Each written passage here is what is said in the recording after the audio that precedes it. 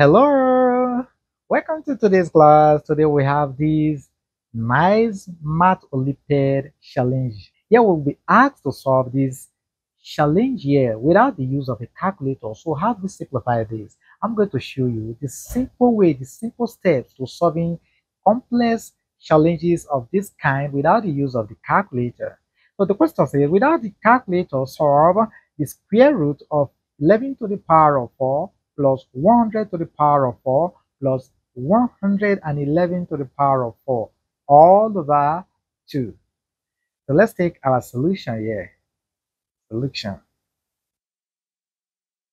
Do not forget to subscribe if you are new here so that you get our video once they are released. So from here, want to rewrite this. This could be written as 100 plus 11. Why are we doing so? Because here we have 11 and here we have 100.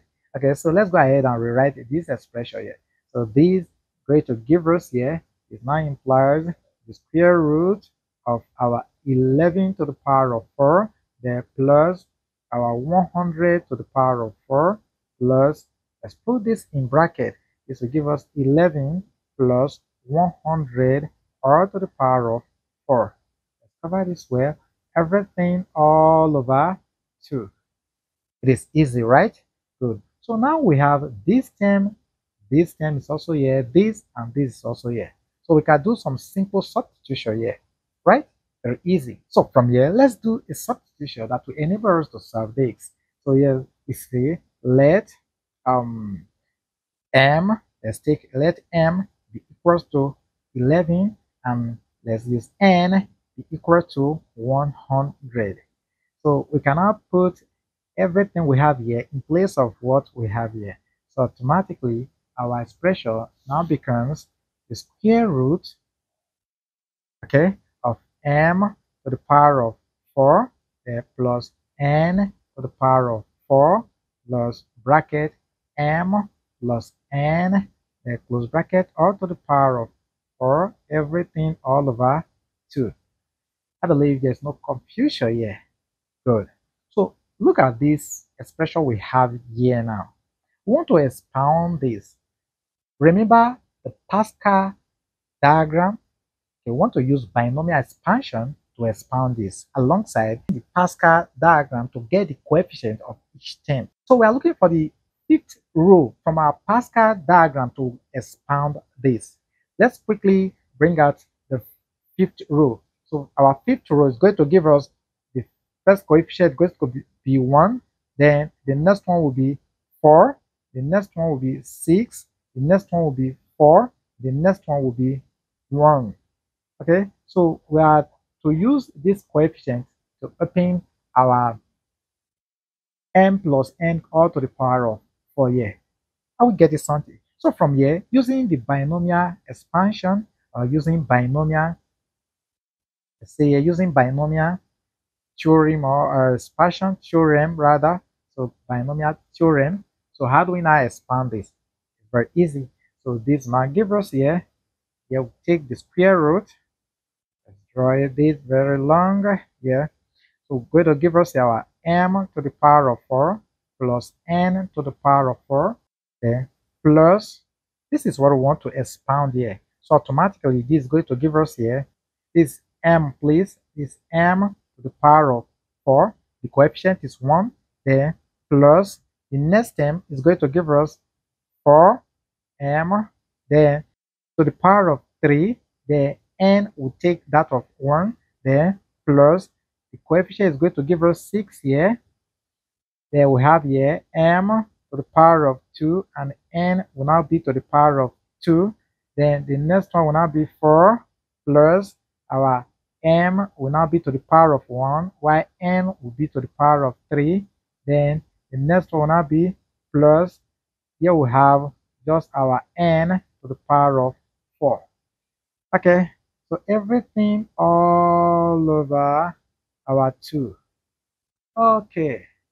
Okay are we seeing everything here? Yes. So with what we have in here now here we have m to the power of 4 here we have m to the power of 4 so we can bring this together. So this now implies the square root is going to give us 2m to the power of 4 there plus if you check we have n to the power of 4 and here we have n to the power of 4 this will also give us 2n to the power of 4 there plus so we can now bring these other terms so we have here 4m to the power of 3 the n plus 6 m to the power of 2 n to the power of 2 there plus our 4 m the n to the power of 3 okay? The everything all over 2 okay are we learning something here? Yes.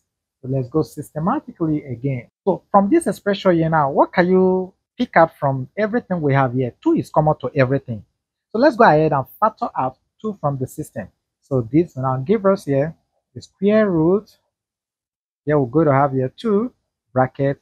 Here we have m to the power of 4 plus our n to the power of 4 plus 2m to the power of 3 n. There plus 3m to the power of 2 n to the power of 2 there plus 2m the n to the power of 3 there everything all over our 2 here then these two cannot cancel the 2 so we succeeded in eliminating two from the system, right? Good. So again, this now give us, we are left with what? We are now left with our m to the power of 4 plus n to the power of 4 plus 2m to the power of 3 n plus 3m to the power of 2 n to the power of 2 there plus our 2m n n please to the power of 3 okay look at what I want to do here now. I want to rewrite this exponent, rewrite this exponent, and split this into 2m to the power of 2, n to the power of 2, plus another m to the power of 2, n to the power of 2. So I want to rewrite this now. So this now implies that the square root of our m to the power of 2 all raised to the power of 2 this is same thing as this, right? there plus bracket n to the power of 2 or to the power of 2 there plus I want to take this first here. So I'm going to give me a 2 to the power of m to the power of 2 the n to the power of 2 there plus I bring this in here now. So we have 2 m to the power of 3 n there plus this very one here.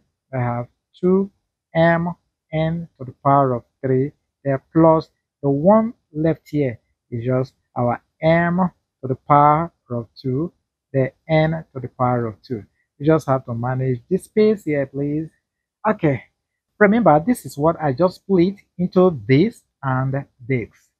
Now if you take a look at what we have here to this place you can spot out a special algebraic identity right? From the algebraic identity which says that our x plus y plus bracket all to the power of 2 this is equal to our x squared plus 2xy plus our y to the power of 2 you remember this algebraic identity? Yes. We can draw up something of such from our previous work which is this yeah look at it here okay we can draw up that from here so how do we express this in this format. Okay, we want to express this very one here in this format. So this now implies then take our square root sign here. So we're going to have here bracket open our m to the power of 2 plus n to the power of 2 close bracket r to the power of 2 there plus our terms we have before we have 2 m to the power of 2 to the power of 3, the n plus our 2m n to the power of 3, the plus our m to the power of 2, n to the power of 2. Let's close up here. Okay, if you look at this, you discover that our 2mn is common to this. So let's factor that from this expression here. So this will now give us here the square root of our bracket m to the power of 2 plus n to the power of 2 or to the power of 2 there plus uh, 2 m n bracket if we use this to divide this, we're left with our m here, there, plus here, where m to the power of 2 rather. So it's going to give us m to the power of 2, there, plus our n the power of 2, close bracket. There, plus, now if we look at this, we can write this as mn r to the power of 2. Easy, right? but Again, if you look at what we have here now, we can still see this algebraic identity playing out here with what we have here now. Okay, so we can rewrite the whole of this expression in this format here. So how do we do that? This will now automatically give us the square root bracket open our m to the power of 2 plus our n to the power of 2 plus our m n close bracket r to the power of 2. Any confusion? I believe there's no confusion. So the essence of all we have been doing is to bring out a square root here. So that is what we have now. So this radical can take care of this power here. So we now have this to be our m to the power of 2 plus n to the power of 2 plus m n. Now recall at the beginning we said, recall, we said um, if you recall, we said let m be equal to 11 and n be equal to our 100. Remember something of such? Good. So we can go ahead and put this value into this our expression we have here. So this now implies that we're going to have 11 to the power of 2 plus 100 to the power of 2 plus 11 times 100. Easy right? Okay, so this return will give us what is 11 to the power of 2. That will give us 1, 2, 1 plus and 100 to the power of 2 will give us 0, 0, 0, 0 and plus 11 times 100 will give us 11, 0, 0. So if we go ahead to add everything together, this will end up giving us 1, 1, 2, 2, 1.